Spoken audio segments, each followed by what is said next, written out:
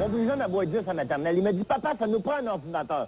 500 MHz, 128 MB de RAM. J'ai fait, oh, les moteurs. J'ai pas fait ni un ni deux.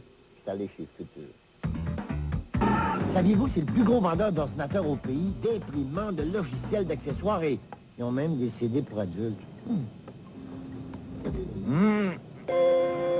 Ouais. Hmm. Et, et, ah ouais. Puis quand je vais triper, je vais chez futur.